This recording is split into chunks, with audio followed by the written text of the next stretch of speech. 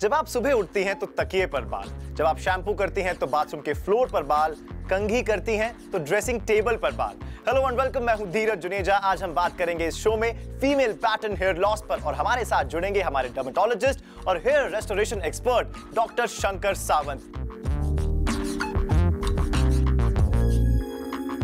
Doctor Sawant welcome to the show thank you very much for calling me sir आपको call करना ज़रूरी था because आज हम डिस्कस कर रहे हैं एक बहुत बड़ी प्रॉब्लम को जो महिलाओं को बहुत स्ट्रेस दे देती हैं। बाल झड़ते हैं हम जानते हैं महिलाओं के लेकिन आज हम प्रॉब्लम के डेप्थ तक जाना चाहते हैं बॉटम तक जाना चाहते हैं।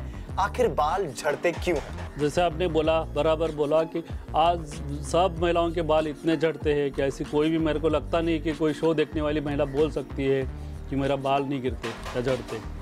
तो सबसे जो कॉमनेस्ट कारण है जो वर्ल्ड हेल्थ ऑर्गेनाइजेशन बोलते हैं हम लोग उनके हिसाब से वर्ल्ड में 80 परसेंट जो फीमेल्स है औरतें हैं उनका बाल गिरने का कारण है आयरन डिफिशियंसी Okay. जो हीमोग्लोबिन का कम होना आयरन की वजह से हीमोग्लोबिन का कम होना। और अपना इंडिया डेवलपिंग कंट्री में आता है अपने इंडिया में तो आयरन डिफिशेंसी बहुत बहुत कॉमन है। जैसे हम लोग कोई भी पेशेंट आता है सबसे पहले तो सबसे पहले कुछ कारण नहीं मालूम है तो सबसे पहले हीमोग्लोबिन और बहुत सारे औरतों का हीमोग्लोबिन कम रहता है। तो आयन दे देते हैं हम लोग। आयरन सप्लीमेंटेशन दे देते।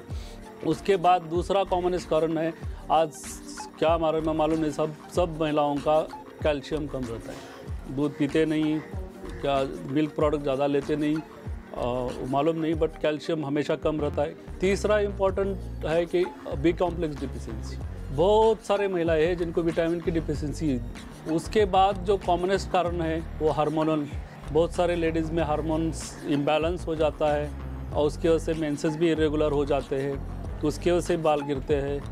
तो कोई भी लेडीज़ थोड़ा सा मोटापन आता रहेगा, काम करने में मन नहीं लगता रहेगा और बाल बहुत गिरता रहेगा तो थायराइड ये बहुत बड़ा कॉज रहेगा।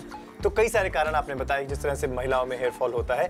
अगर हम एक पैटर्न की बात करें फीमेल हेयर फॉल का जो पैटर्न है वो किस तरह से रहता है किस ग्रेड्स में रहता है? जैसे मेल्स में आपने मैंने मेल्स में पूरे गंजे हो जाते हैं वैसे फीमेल्स में गंजे नहीं होते। उनमें क्या होता है ना जो हेयर पार्टीशन रहता है जैसे आपने इंडियन सब और लेडीज़ देखते हैं आप कि बीच में से एक पार्टीशन करते हैं।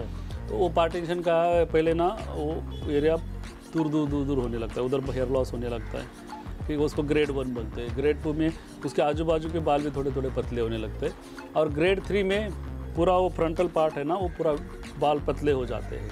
इसको फीमेल पैटर्न हेयर लॉस के लुडविंग्स क्लासिफिकेशन बोलते हैं।